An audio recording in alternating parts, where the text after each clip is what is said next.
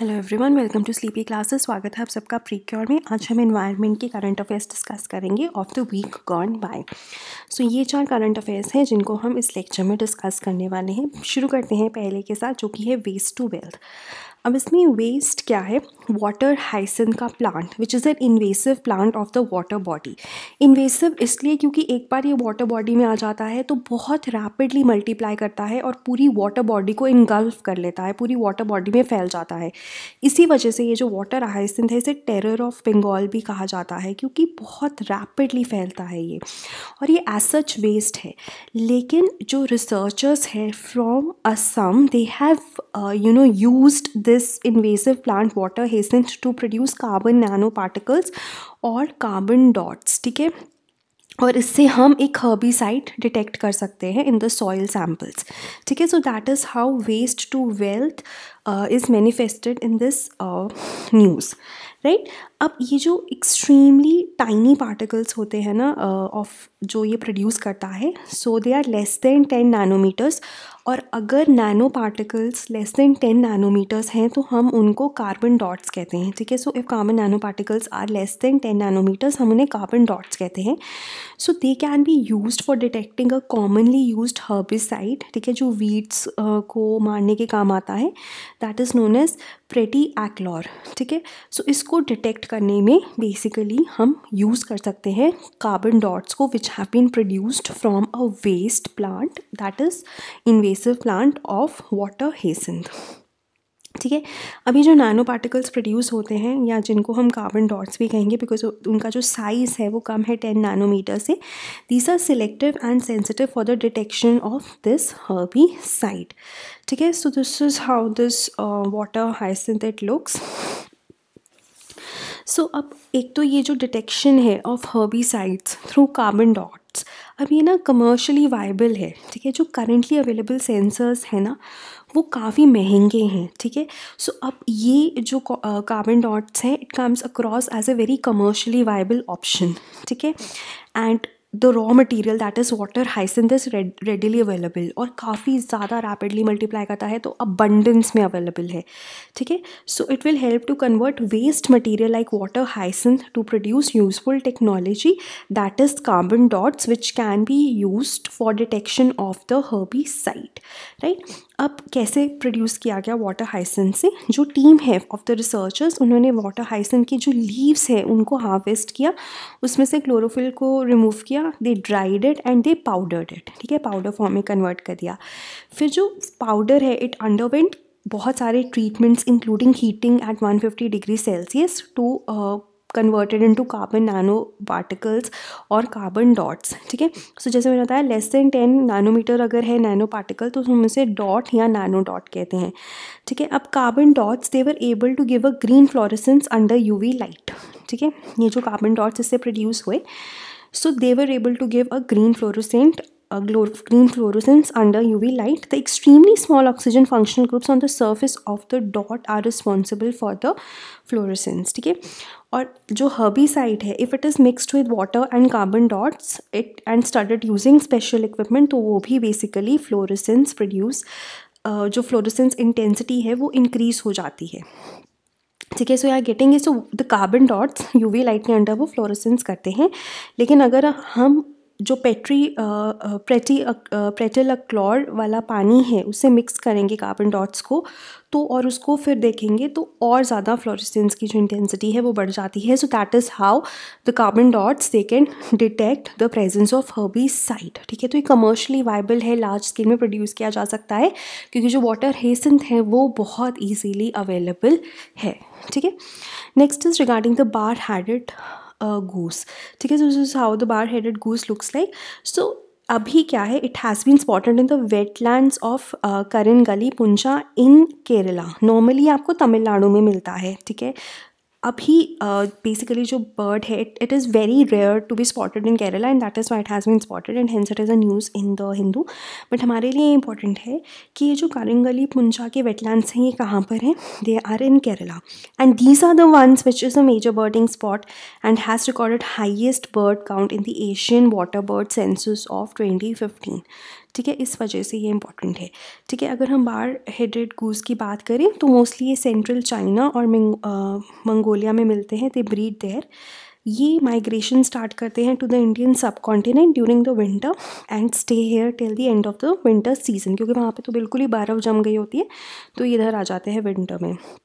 And then these are the birds which fly at very high altitude ये सबसे इंपॉर्टेंट है कि काफ़ी हाई ऑल्टीट्यूड पे ये बर्ड्स फ्लाई करते हैं, ठीक है? और जैसे इंडिया में आने के लिए या वापस अपने घर सेंट्रल चाइना या मंगोलिया में जाने के लिए ये हिमालयन रेंजेस के ऊपर से जाते हैं, ठीक है? अब बेसिकली क्या है कि अब इनकी जो ये हिमालय के ऊपर से जाते हैं मतलब वहाँ पे ऑक्सीजन की कमी है, ठीक है? क्योंकि ऑब्वियसली हाई ऑल्टीट्यूड में ऑक्सीजन की कमी होगी, लेकिन इनकी जो अबिलिटी है that they have this ability कि ये जो इनकी ड्यूरिंग फ़्लाइट जो हाई ऑक्सीजन डिमांड है उसको इवन थिन ऑक्सीजन वाली जगहों में भी they can fulfil their high oxygen demands ठीक है?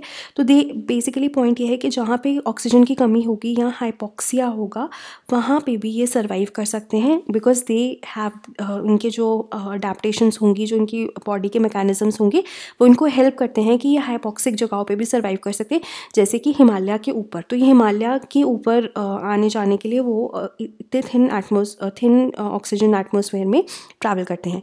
ठीक है? So to transport and consume oxygen their capacity to transport and consume oxygen and high rates in hypoxia जहाँ पे ऑक्सीजन की कमी है, वहाँ पे भी ये रैपिडली ट्रांसपोर्ट और कंज्यूम करते हैं ऑक्सीजन को। So it actually distinguishes them from the waterfowl जो नीचे मिलते हैं, जो बर्ड्स लो लैंड में मिलते हैं। ठीक है? So that is why it's very very important no next is National Institute of Oceanography ने एक स्टडी की है ऑन प्लास्टिक्स ठीक है? So it is based in Goa and it has conducted a study which which has found out कि जो beaches हैं महाराष्ट्र में वो ज़्यादा पोल्यूटेड है compare to those of the Goa and Karnataka.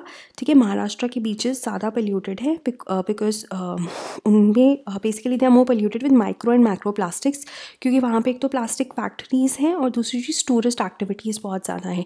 जो नाम है स्टडी का assessment of macro and micro plastics along the west coast of India abundance distribution and polymer type and toxicity ठीक है सो इनको पता चला है कि जो महाराष्ट्र की बीचेस हैं, ठीक है, वहाँ पे ज़्यादा अबंडेंस है। ठीक है at the high tide line as compare to Karnataka and Goa ठीक है?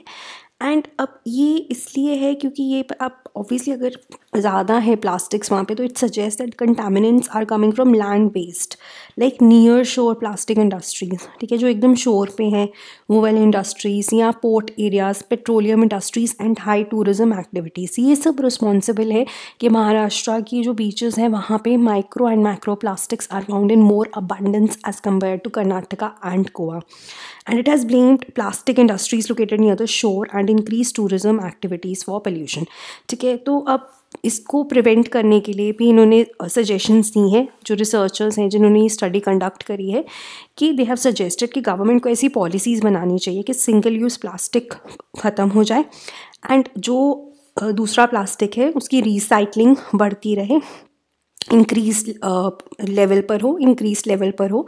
दूसरी चीज़ कम्युनिटी अवेयरनेस भी हमें फैलानी है ताकि लोग भी प्लास्टिक्स का कम से कम यूज़ करें और उनको बीचेस में ऐसे ही ना थ्रो कर दें, ठीक है? तो tourist they you know practice more responsible tourism so ये सब चीज़ें बोली हैं रिसर्चर्स ने करने के लिए।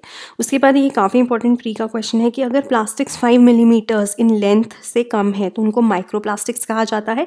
और अगर फाइव एम mm से ज़्यादा है तो उन्हें मैक्रो प्लास्टिक्स कहा जाता है, ठीक है?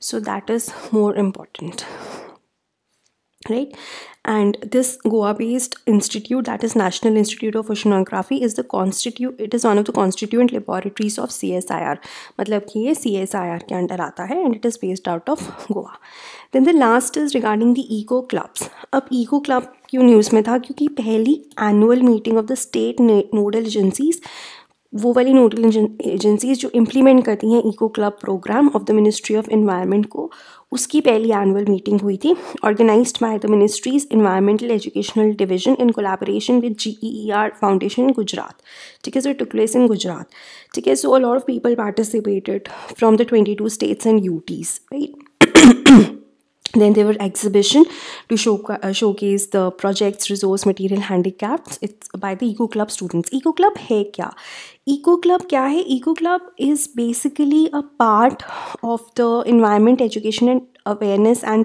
training ठीक है सो ये ई ए टी जो है it is a central sector scheme of the ministry of environment since 1983 and it aims to promote environmental awareness ठीक है? एंड मोबिलाइज स्टूडेंट्स ठीक है? स्टूडेंट्स को एक तरह से उनमें अवेयरनेस प्रमोट करना और उनको मोबिलाइज करना ताकि वो ज़्यादा से ज़्यादा अवेयर हो और पार्टिसिपेट करें इन इन्वायरमेंट कॉन्जर्वेशन ठीक है?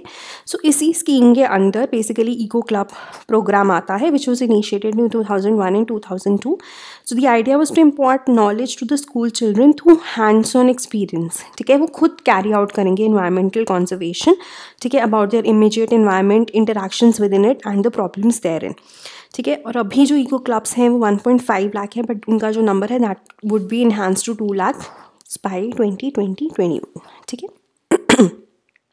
और आइडिया वही है कि जो बच्चे हैं, उनको एक तरह से इंकलकेट करना उनमें proper attitude towards environment and sensitise them on issues related to environment and development right so this was regarding your pre cure of this week thank you